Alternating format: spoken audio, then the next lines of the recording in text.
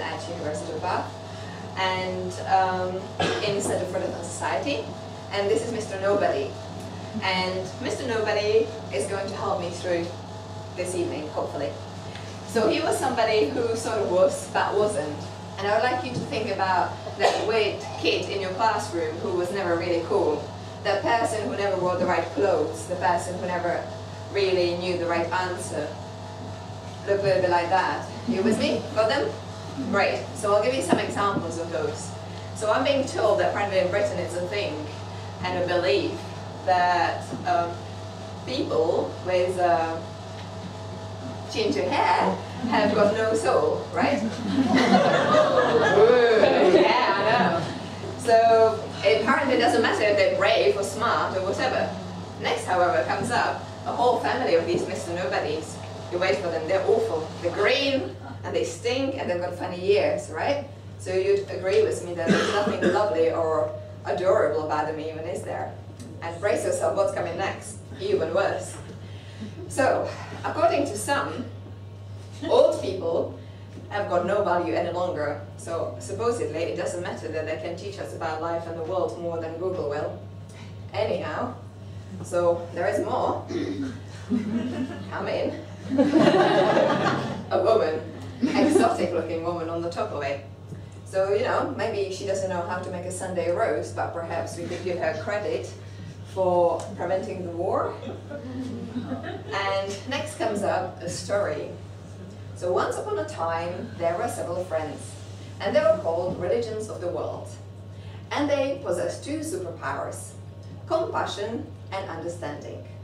The end. so, to sum it up, this whole thing is called othering, and that makes us believe that us is somehow better than them. It creates distances and focuses on differences, and demonizes them. It's made of several things, like discrimination, dehumanization, racism, sexism, and other delights. And so why do we other the other? Well, for several things. Sometimes, and most often that is the case, that we're scared. Because it's easier to think, I don't know you, you're dangerous, so let's increase security measures.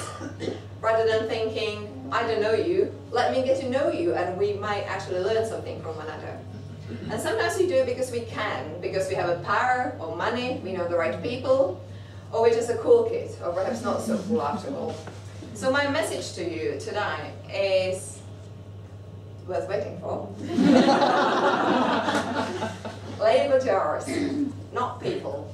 Because those who making themselves bigger by making everyone else smaller have got a very similar agenda to someone who you probably all know. Adolf. So this is how it's done. First, you point at them and you say, the other, that's weird thing about them. Then you make them illegal. And finally, you use your power and you devastate. Or not. Because it's up to us. Because the true power of education is that you get to choose how you see people and the world. So perhaps we don't need to make any more Mr. Nobodies, right? So really, we're all earthlings. And um, imagine if it was your mother, brother, sister who was just being turned into Mr. Nobody by someone else. How would you feel?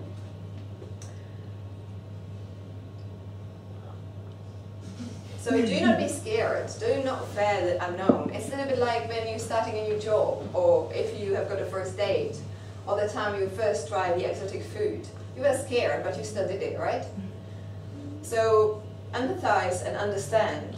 Just imagine the other to be your own. And if you do have a power, money, influence, or if you're just a real cool kid, then, then stick up for the underdog because you know, it's a good thing to do. and maybe for whole nations of them. Have a heart and feel it. Because really, othering is something that we do and we must stop it. And so to reveal the secret, um, I study something that is being referred to as um, social death.